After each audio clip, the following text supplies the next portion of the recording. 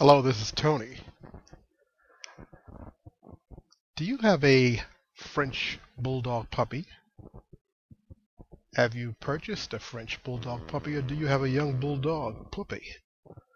A young French Bulldog puppy. They're very cute, very cuddly little pets. But they may be giving you some problems. You may be having problems rearing your pet and breaking them into the household, getting them house trained. It's common. But uh, there's a resource for you. There's a website where you can go. I'm going to put a link below this video where you can get a free mini course to teach you what you need to know to bring your bulldog along and make them part of the family and uh, deal with some of the issues you might be facing. This mini course is going to teach you how to lead and think like a pack dog, the new psychology.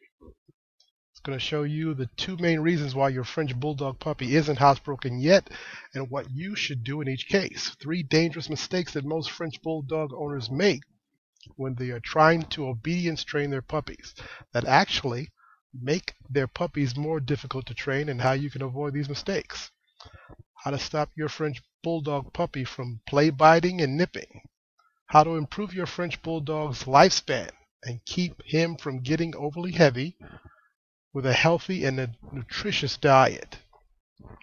Getting Pro Help Fast, how to get access to our experts trainers when you need them most. One hidden psychological trigger that all French Bulldogs have that practically allows you to analyze and control your French Bulldog's every action.